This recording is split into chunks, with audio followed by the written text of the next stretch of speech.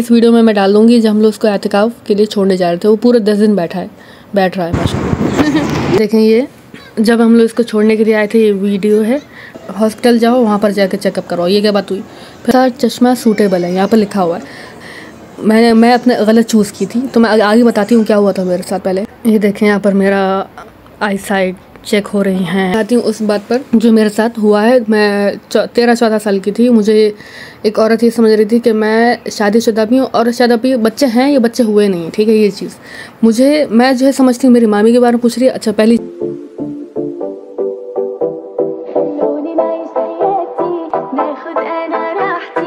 असलम वरहमल वबरक अहलन वसहलन व मरहबा आप लोगों को मेरे यूट्यूब चैनल मूना व्लॉग्स पे आज का जो ब्लॉग है हमने मतलब तारीख का ज़्यादा इंतज़ाम नहीं किया था जैसे उस दिन बिरयानी बनाई थी आज के दिन हमने जो है बस सालन बना लिया ऐसे ही मुर्गी का सालन मतलब इसको हम लोग बोलते हैं आलू मुर्गी का शोरबा बोलते हैं और पकोड़े बना लिए और इसमें जो ये हॉट पॉट है ना इसके अंदर रोटियाँ हैं और इसमें जो है चाइनीज़ है ये तो मतलब इफ्तारी का अगर कुछ था तो ये पकोड़े थे बाकी तो हमने खाना बनाया है उसके बाद जो है तरावीह के का टाइम हो जाता है हम तरावीह के लिए जा रहे हैं। यहाँ पर मैं मरियम का सेट करी इतना ढीला है इसको ये।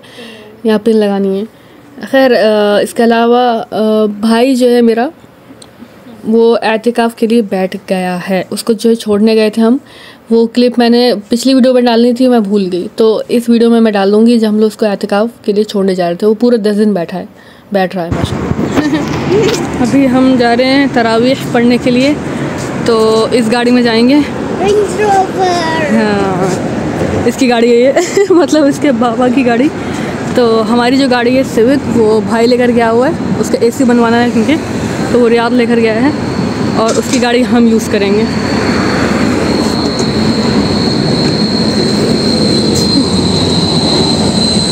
ये देखें ये जब हम लोग इसको छोड़ने के लिए आए थे ये वीडियो है। हमसे मिल वगैरह रहा है।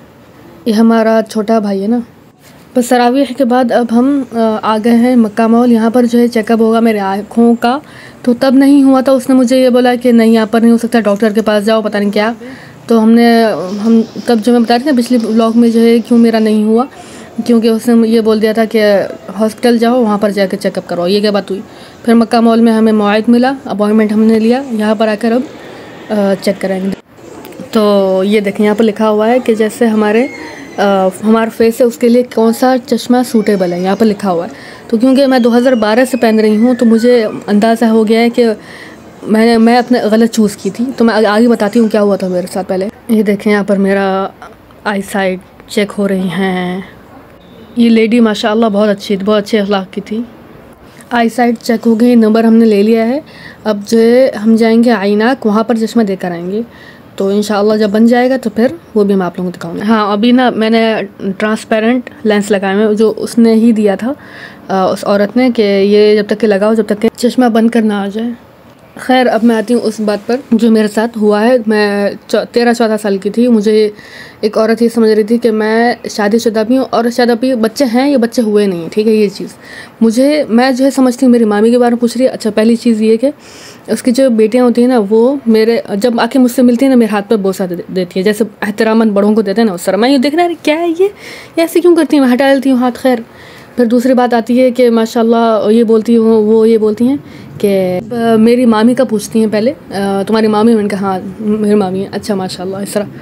फिर थोड़ी देर बाद जो है, बच्चे नहीं हैं, अब जो है, वो पूछ रहे, वो पूछ रही होती है, मेरा? मैं समझ रही हूँ, मामी का पूछ रही हूँ। अभी उन्होंने मामी का पूछा ना कि मतलब ये तुम्हारी मामी इस तरह करके।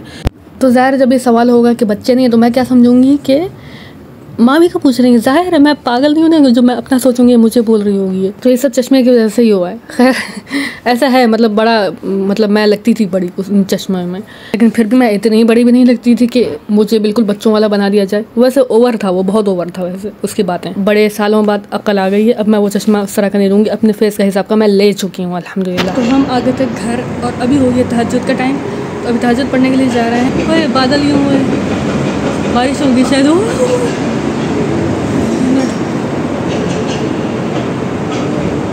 दिख नहीं रहा। तो खैर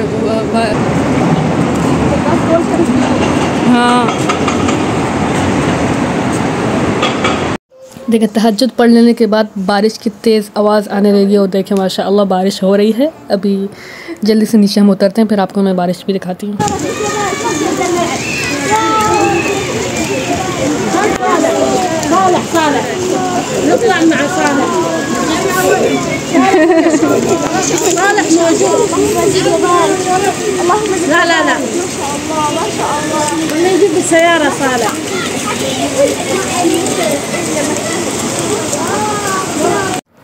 जल्दी से गाड़ी में बैठ गए वरना पूरे अगर भीग जाते हैं तो गाड़ी में जब बैठते हैं तो सीटें गीली हो जाती हैं इसलिए जल्दी से बैठ गए देखें शीशे पर भी कितना पानी आ गया है ये हमारे बाबा ईमान तुम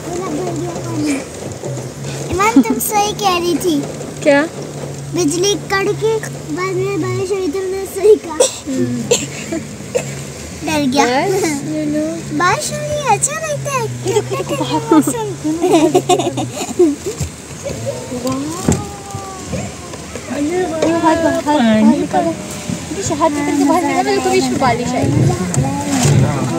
वालेकुम अस्सलाम वालेकुम अस्सलाम मौसम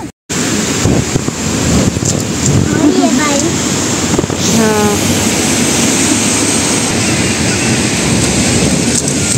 रो रहा है यार? ये मुझे रहा है। तो मैंने कहा था कि जब हम तहजद के लिए जा रहे थे उस वक्त जो है बादल गरज रहे थे। अब देखें कितनी बारिश हो रही है।